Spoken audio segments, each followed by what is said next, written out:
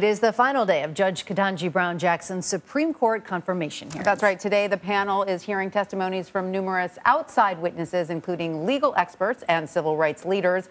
Representatives of the American Bar Association lauded the qualifications of Judge Jackson earlier today. They also rejected claims Judge Jackson was biased in her child pornography cases after Republicans attacked her sentencing approach to these cases. An ABA committee member acknowledged the quote, surprising fact that the association found zero criticisms of Judge Jackson to report. We talk about defense counsel. You know, many defense counsel are former prosecutors. When we talk about liberals and conservatives, they're defense counsel that are liberal and conservatives. And so when we speak to these attorneys, um, they have different perspectives. And it is surprising um, that unanimously the bar uh, appreciates Judge Jackson, sees that she has high competency, integrity, and temperament. Judge Jackson is back on Capitol Hill today to meet with senators who will soon vote on her nomination to the Supreme Court. Joining us now for more on this is CBS News legal contributor Jessica Levinson. Jessica, always great to see you. Today, we're not hearing from Judge Jackson. How important is it that outside testimony in comparison to questioning the judge herself?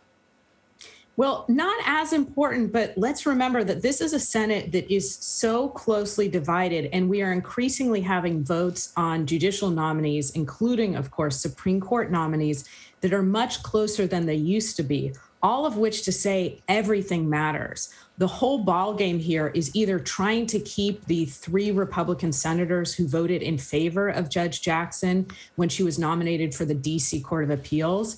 Um, and or to try and pick up more. We're talking about very small margins here. So to the extent that some of the witnesses today are helping to either bolster her claims, to support her, or to throw more criticism that could give some Republicans cover to vote against her, I think it does make a difference. You know, Jessica, you point out that there were those three Republicans that voted for appointment as a federal judge, but of course we know that those hearings don't get as much. Uh, play as as this one. So you have to take into account that of course these republicans are speaking to their constituents uh, as well. So considering all of that and multiple outside witnesses testifying both for and against jackson who do you think has made an impact so far? And is there anyone we should keep an eye on?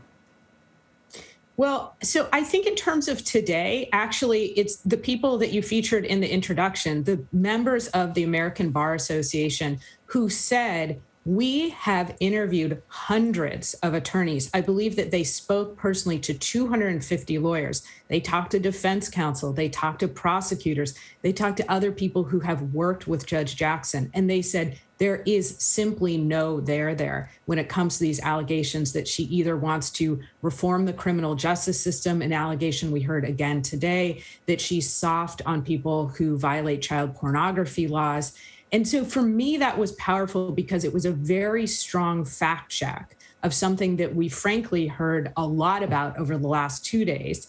And it allowed somebody other than her to explain there's no perception in the legal community, there's no perception among those who work with her that this is the reality.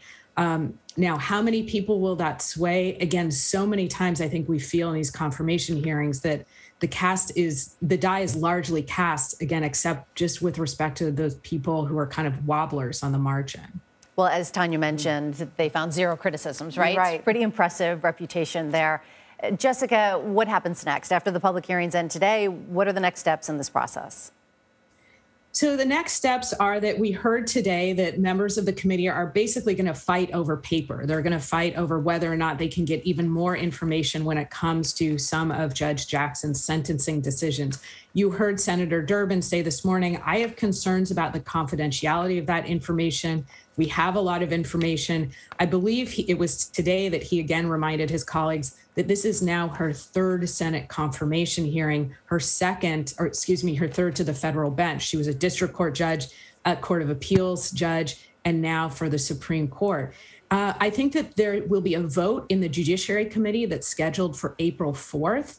And then what we've heard is that they plan to vote, the full Senate plans to vote to confirm her by April 8th, which is before they leave for their holiday break. And that's the timeline coming up. This could be wrapped up rather quickly. All right. Well, Jessica Levinson, thank you so much. As always, we appreciate your legal expertise. Thank you.